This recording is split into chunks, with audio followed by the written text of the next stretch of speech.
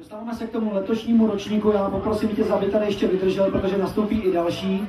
Eh, soutěžilo se v handbajkách stejně jako v loni i v letošním roce, takže bych poprosil, a začneme možná od třetího místa, protože ve hře jsou vedle toho, že se nesoutěžilo o nic menšího než o meloun, také láhve výborného vína a první místo pochopitelně let tím balonem. U toho třetího místa jsme tedy u toho melounu.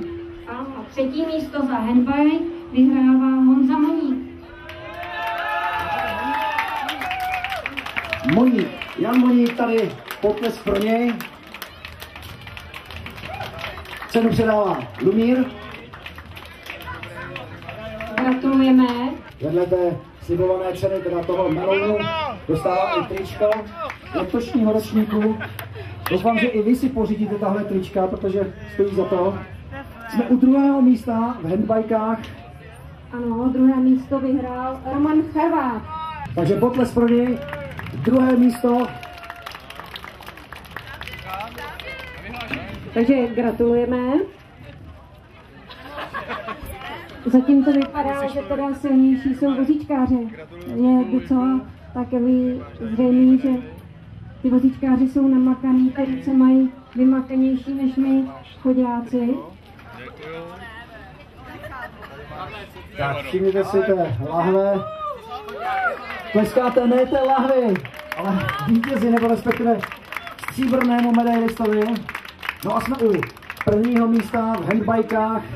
A na prvním místě tedy výherce letu horkovzdušným balonem je A to je Zdeněk Kirch. Zdeněk Kirch. Tam již přijíždí. A přidáme mu hlavní cenu let balónem. Tak. A teď bych teda měla říct, Díky, díky. a abyste si nemysleli, vy příchozí, že jsme si tady rozdělili ceny mezi vozíčkářema, ale je to opravdu tak, ty výsledky opravdu takhle dopadly. My mu zatleskáme ještě jednou. A, takže Zdeněk měl nápad a já mu předám mikrofon, on určitě nám něco poví sám. Dobrý den, já vás zdravím, 1, 2, 3, 4, 1, 2, 3, 4. Tak já bych chtěl poděkovat hlavně pořadatelům, že nám to tak krásně spořádali a uh, připravili. Hlavně Lumírovi a Štěpánce. Uh, moc si toho vážíme, je to krásný večer, krásný den. Uh, jsem šťastný, happy. A černí koně, tady náš tým. Handicapovaný cyklisti. Takže to je všechno, co bych se mu chtěl říct a děkuju vám. Naschledanou.